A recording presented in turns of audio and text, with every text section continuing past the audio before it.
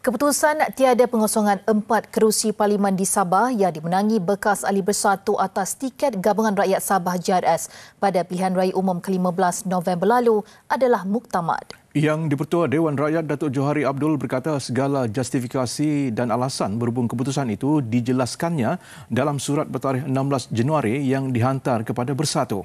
Sehubungan itu katanya terpulang kepada Bersatu untuk merujuk perkara itu ke mahkamah kerana mereka ada hak berbuat demikian.